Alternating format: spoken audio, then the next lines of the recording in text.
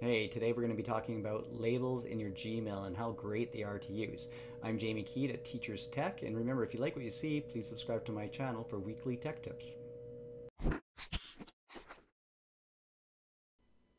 Labels are a great way to keep your emails organized and they're very easy to use. Let's start by just creating one from scratch here. You can see I already have a couple examples set up with colors. Uh, to create another one, I'm just going to uh, scroll down and hit create new label right here. I'm just going to call this one example here to follow what I've uh, written before and I'm just going to call this example 4.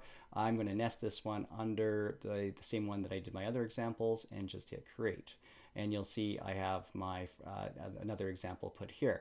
Um, I also want to color this one because I like it when I color code because so they can stand out. I'm just going to hit this little down arrow here and I'm going to choose this green right here you notice uh, when I hit the little down arrow, it gives me a few different options if I want to edit or remove the label or add the sublabel or hide. So just quick little shortcuts just by hitting on that uh, arrow beside it here.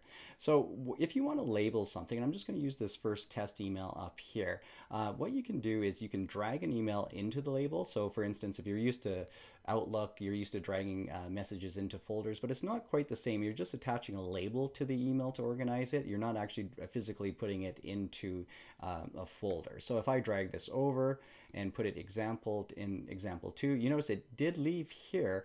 Uh, and if I click on example two, it's, it's my example two. I can also drag this email uh, back to my inbox. Now, if I click my inbox, uh, you can see I have uh, my example two here. So you can see it's in my inbox and it's an example So another way I can add labels here is I can actually just drag them across uh, this way and it will add the labels to it. So this, I tend to use this one um, a lot this way. It's just very easy to kind of scroll through and see what uh, labels. Uh, once I talk about um, the filters in a different video, you'll see how a lot of this can be taken care of you as the emails uh, come in. Uh, so as I click on this one, uh, if you wanted to get rid of your labels, you can just hit the X like this, like so. but you can also add your labels from inside your email just by dragging them over. And I'll just drag a couple over here and you can see if I go back, they're right there. So another way to manage your labels are just through up here on, on the tabs right here. So if I hit labels here, and if you have the icons, it's going to be a different image there, um, but you'll see as the pop down will be the same uh, here. So for instance, if I want to uh, get rid of an uh, example four, and I'm going to put an example two right here, and I'm going to apply it, you can see it changed it around just by using the drop down. Uh, I can also move my labels. Uh, so if I wanted them into uh, example three, now if I click on, um, if I click on, where did I put these ones here? Oh, there we go.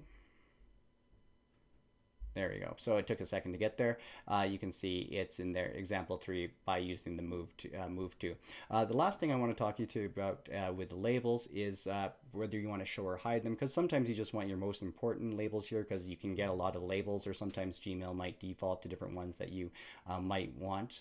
but if you weren't going into your sent mail, or you didn't want your drafts one or your trash one, um, what you can do is you can manage labels, and there's a couple different ways you can manage labels, but I'm just going to click over here here and it just brings you to your settings. So you could also have gone through your settings and then over to labels and it would have brought you to the same place.